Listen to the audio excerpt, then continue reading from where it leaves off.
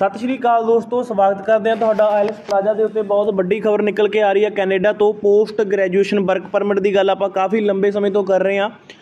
Mark miller ਦੇ ਵੱਲੋਂ ਵੀ statement ਪਿਛਲੇ ਦਿਨਾਂ ਵਿੱਚ ਦਿੱਤੀ ਗਈ ਸੀ ਵੀ ਬੜੇ ਚੇਂਜਸ ਆ ਰਹੇ ਆ ਪੋਸਟ ਗ੍ਰੈਜੂਏਸ਼ਨ ਵਰਕ ਪਰਮਿਟ ਨੂੰ ਲੈ ਕੇ। ਉਮੀਦ ਇਹ ਕੀਤੀ ਜਾ ਰਹੀ ਸੀ ਜੇ, ਇਹ ਜਿਹੜੇ ਚੇਂਜਸ ਹੋਣਗੇ, ਸਟੂਡੈਂਟਾਂ ਦੇ ਪੱਖ ਦੇ ਵਿੱਚ ਹੋਣਗੇ।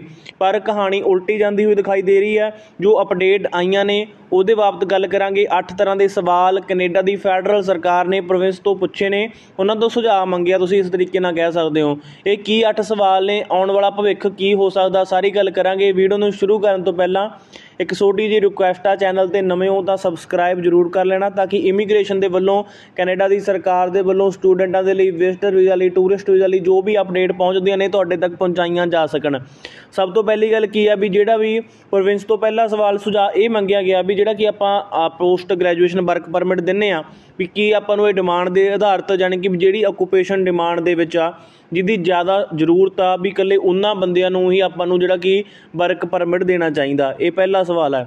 ਦੂਜਾ ਵੀ ਕੋਈ ਅਜਿਹੀ ਕੈਟਾਗਰੀ ਜਿਹੜਾ ਤੁਸੀਂ ਨਹੀਂ ਚਾਹੁੰਦੇ ਹੋ ਵੀ ਮਤਲਬ ਕਿ ਇਸ ਰੂਲ ਦੇ ਅੰਡਰ ਲਿਆਂਦੀ ਜਾਵੇ ਵੀ ਕੋਈ ਜਿੱਦਾਂ ਇਦਾਂ ਦੀ ਸਟੱਡੀ ਜਿਹਨੂੰ ਆਪਾਂ ਆਹ ਰੂਲ ਦੇ ਅੰਦਰ ਨਾ ਲੈ ਕੇ ਆਈਏ ਵੀ ਉਹਨਾਂ ਨੂੰ ਬਸ ਵਰਕ ਪਰਮਿਟ ਦੇ ਦਈਏ ਵੀ ਉਹਨਾਂ ਨੂੰ ਆਹ ਚੀਜ਼ ਦੇ ਅੰਦਰ ਇਨਕਲੂਡ ਨਾ ਕਰੀਏ। ਫਾਰ ਐਗਜ਼ਾਮਪਲ ਵੀ ਜਿਹੜੇ ਕੋਰਸ ਵਿੱਚ ਫ੍ਰੈਂਚ ਫਰੰਚ ਆ ਗਈ, ਉਹਨਾਂ ਨੂੰ ਕਹਿ ਸਕਦੇ ਆਗੇ ਉਹ ਹਨਾ ਵੀ ਫ੍ਰੈਂਚ ਵਾਲਿਆਂ ਦੇ ਉੱਤੇ ਆਪਾਂ ਇਹ ਜਿਹੜਾ ਰੂਲ ਹੈ, ਉਹ ਨਵੇਂ ਲਾਗੂ ਨਹੀਂ ਕਰਾਂਗੇ। ਵੀ ਕੋਈ ਕੈਟਾਗਰੀ ਦਾ ਸੁਝਾਅ ਮੰਗਿਆ ਗਿਆ ਵੀ ਤੁਹਾਡੀ ਨਜ਼ਰ ਦੇ ਵਿੱਚ ਜਾਂ ਤੁਹਾਡੇ ਮੁਤਾਬਕ ਕਿਹੜੀ ਕੈਟਾਗਰੀ ਨੂੰ ਇਸ ਦੇ ਅੰਡਰ ਨਹੀਂ ਲੈ ਕੇ ਆਉਣਾ ਚਾਹੀਦਾ, ਠੀਕ ਹੈ?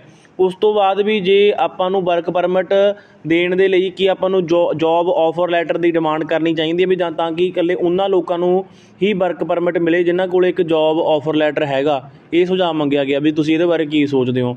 ਚੌਥਾ ਸਵਾਲ ਇਹ ਆ ਵੀ ਜੇ ਜਿਹੜਾ ਕਿ ਆਫਰ ਲੈਟਰ ਜੇ ਕੋਈ ਐਕਸਟੈਂਡ ਕਰਾਉਣਾ ਚਾਹੁੰਦਾ ਵੀ ਉਹਦੇ ਵਾਸਤੇ ਕੋਈ ਆਪਾਂ ਐਲੀਜੀਬਿਲਟੀ ਸੈੱਟ ਕਰੀਏ ਵੀ ਜਾਂ ਤਾਂ ਕੋਈ ਪ੍ਰੋਵਿੰਸ ਦੇ ਵੱਲੋਂ ਸਪੋਰਟ ਡਾਕੂਮੈਂਟ ਦੀ ਡਿਮਾਂਡ ਕੀਤੀ ਜਾਵੇ ਸਪੋਰਟ ਲੈਟਰ ਦੀ ਜਾਂ ਫਿਰ ਕੋਈ ਲੈਂਗੁਏਜ ਪ੍ਰੋਫੀਸ਼ੈਂਸੀ ਇਦਾਂ ਦਾ ਕੁਝ ਕੀਤਾ ਜਾਵੇ, ਇਹਦੇ ਬਾਰੇ ਸੁਝਾਅ ਮੰਗਿਆ ਗਿਆ। ਐਕਸਟੈਂਸ਼ਨ ਨੂੰ ਲੈ ਕੇ ਵੀ ਕਈ ਤਰ੍ਹਾਂ ਦੇ ਰੂਲ ਬਣਨ ਦੇ ਕਗਾਰ ਦੇ ਉੱਤੇ ਕੈਨੇਡਾ ਦੀ ਸਰਕਾਰ ਤੁਰੀ ਹੋਈ ਹੈ। ਉਸ ਤੋਂ ਬਾਅਦ ਸਭ ਤੋਂ ਵੱਡੀ ਗੱਲ ਇਹ ਆ ਵੀ ਜਿਹੜੇ ਐਗਜ਼ਿਸਟਿੰਗ ਸਟੂਡੈਂਟ ਨੇ, ਜਿਹੜੇ ਕਿ ਕੈਨੇਡਾ ਦੇ ਵਿੱਚ ਰਹਿ ਰਹੇ ਨੇ ਸਟੱਡੀ ਕਰ ਰਹੇ ਨੇ, ਵੀ ਕੀ ਉਹਨਾਂ ਦੇ ਉੱਤੇ ਵੀ ਇਹ ਰੂਲ ਲਾਗੂ ਕਰਨੇ ਚਾਹੀਦੇ ਆ। ਇਹ ਬਹੁਤ ਹੀ ਵੱਡਾ ਸ਼ੌਕਿੰਗ ਅਪਡੇਟ ਹੈ ਕਿਉਂਕਿ ਬੱਚੇ ਜਿਹੜੇ 25 30 30 ਲੱਖ ਲਾ ਕੇ ਉੱਥੇ ਪਹੁੰਚ ਵੀ ਗਏ ਤੇ ਉਹਨਾਂ ਨੇ ਆਪਦੀ ਜਿਹੜੀ ਮਿਹਨਤ ਦੀ ਕਮਾਈ ਲਾ ਵੀ ਦਿੱਤੀ ਤੇ ਉਹਨਾਂ ਦਾ ਜਿਹੜਾ ਫਿਊਚਰ ਆ ਉਹ ਵੀ ਸਿਕਿਉਰ ਨਹੀਂ ਹੈਗਾ। ਉਹਨਾਂ ਦੇ ਉੱਤੇ ਵੀ ਜਿਹੜੀ ਖਤਰੇ ਦੀ ਤਲਵਾਰ ਹੈ, ਉਹ ਲਟਕ ਰਹੀ ਹੈ। ਸੇਮ ਹੀ ਚੀਜ਼ ਕੀ ਆ, ਵੀ ਆਕੂਪੇਸ਼ਨ ਲਿਸਟ ਜਿਹੜੀ ਕਿ ਆਪਾਂ ਬਣਾਉਣੇ ਆ, ਵੀ ਜਿਹੜੀ ਆਕੂਪੇਸ਼ਨ ਡਿਮਾਂਡ ਦੇ ਵਿੱਚ ਹੁੰਦੀਆਂ ਨੇ, ਉਹ ਆਕੂਪੇਸ਼ਨ ਲਿਸਟ ਆਪਾਂ ਨੂੰ ਕਿੰਨੇ ਸਾਲ ਬਾਅਦ ਅਪਡੇਟ ਕਰਨੀ ਚਾਹੀਦੀ ਹੈ, ਕਿਉਂਕਿ ਆਕੂਪੇਸ਼ਨ ਦੀ ਡਿਮਾਂਡ ਉੱਪਰ ਨੀਚੇ ਹੋ ਜਾਂਦੀ ਹੁੰਦੀ ਹੈ ਕਦੇ ਕਿਹੜਾ ਕਿੱਤਾ ਟ੍ਰੈਂਡਿੰਗ ਵਿੱਚ ਹੁੰਦਾ, ਕਦੇ ਕਿਹੜੇ ਕਿੱਤੇ ਦੀ ਰਿਕੁਆਇਰਮੈਂਟ ਹੁੰਦੀ ਆ। ਸੱਤਵੀਂ ਚੀਜ਼ ਆ ਵੀ ਕਿਹੜਾ ਕੋਈ ਪ੍ਰੋਫਾਈਲ ਕੈਂਡੀਡੇਟ ਜਾਂ ਕਿ ਤੁਸੀਂ ਇਸ ਪ੍ਰੋਗਰਾਮ ਦੇ ਤਹਿਤ ਲਿਆਉਣਾ ਚਾਹੁੰਦੇ ਹੋ ਪ੍ਰੋਵਿੰਸ ਦੇ ਵਿੱਚ, ਇਹਦੇ ਬਾਰੇ ਗੱਲ ਕੀਤੀ ਹੈ। ਸੱਤਵਾਂ ਸਵਾਲ ਇਹ ਪੁੱਛਿਆ ਗਿਆ। ਤੇ ਅੱਠਵਾਂ ਸਵਾਲ ਇਹ ਆ ਵੀ ਜਿਹੜਾ ਤੁਸੀਂ ਪੀਐਨਪੀ ਪ੍ਰੋਗਰਾਮ ਚਲਾਉਣੇ ਹੋ ਪੀਐਨਪੀ ਪੀਆਰ ਦਿੰਨੇ ਹੋ ਤੁਸੀਂ ਪ੍ਰੋਵਿੰਸ ਦੀ ਪੀਆਰ ਹੁੰਦੀ ਹੈ ਨਾ, ਜਿਹੜੀ ਪੀਐਨਪੀ ਕੀ ਹੁੰਦੀ ਆ, ਵੀ ਪ੍ਰੋਵਿੰਸ ਦੇ ਇੱਕ ਡਰਾ ਕੱਢਦਾ ਹੁੰਦਾ, ਉਹਦੇ ਤੇ ਤੁਸੀਂ ਇੱਕ ਪ੍ਰੋਵਿੰਸ ਦੇ ਵਿੱਚ ਪੀਆਰ ਲੈ ਸਕਦੇ ਹੋ, ਪਰ ਰਿਕੁਆਇਰਮੈਂਟ ਇਹ ਹੁੰਦੀ ਆ ਵੀ ਮਤਲਬ ਕਿ ਉਸ ਤੋਂ ਬਾਅਦ ਤੁਸੀਂ ਹੋਰ ਕਿਸੇ ਸਟੇਟ ਵਿੱਚ, ਹੋਰ ਪ੍ਰੋਵਿੰਸ ਵਿੱਚ ਮੂਵ ਨਹੀਂ ਹੋ ਸਕਦੇ, ਇਹ ਪੀਐਨਪੀ ਹੁੰਦਾ। ਹੁਣ ਇਹ ਕਹਿ ਰਿਹਾ ਵੀ ਤੁਸੀਂ ਪੀਐਨਪੀ ਨੂੰ ਕੀ ਆਪਾਂ ਨੂੰ ਲੇਬਰ ਮਾਰਕੀਟ ਦੇ ਨਾਲ ਅਲਾਈਨ ਕਰਨਾ ਚਾਹੀਦਾ? ਵੀ ਤਾਂ ਕਿ ਜਿਹੜੀਆਂ ਪੀਆਰਾਂ ਨੇ, ਉਹ ਵੀ ਉਹਨਾਂ ਨੂੰ ਹੀ ਦਿੱਤੀਆਂ ਜਾਣ, ਜਿਨ੍ਹਾਂ ਦੀ ਸ਼ਾਰਟੇਜ ਆ।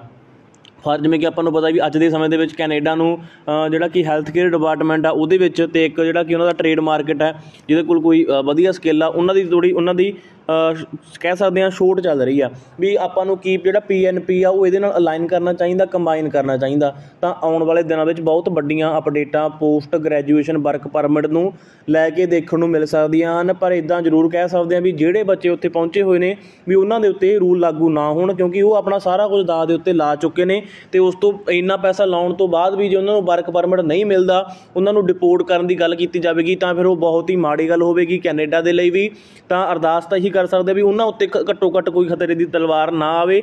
ਜਿਹੜੇ ਸਟੂਡੈਂਟ ਇੱਧਰੋਂ ਜਾ ਰਹੇ ਆ, ਚਲੋ ਉਹਨਾਂ ਨੂੰ ਇੱਕ ਪਤਾ ਵੀ ਹਾਂ ਵੀ ਕੈਨੇਡਾ ਜਾ ਕੇ ਸਾਡਾ ਫਿਊਚਰ ਕਿੱਦਾਂ ਦਾ ਹੋਊਗਾ। ਕਿਉਂਕਿ ਕੈਨੇਡਾ ਦੇ ਜਿਹੜੇ ਹਾਲਾਤ ਨੇ ਤੁਹਾਡੇ ਸਾਰਿਆਂ ਦੇ ਸਾਹਮਣੇ ਹੀ ਨੇ।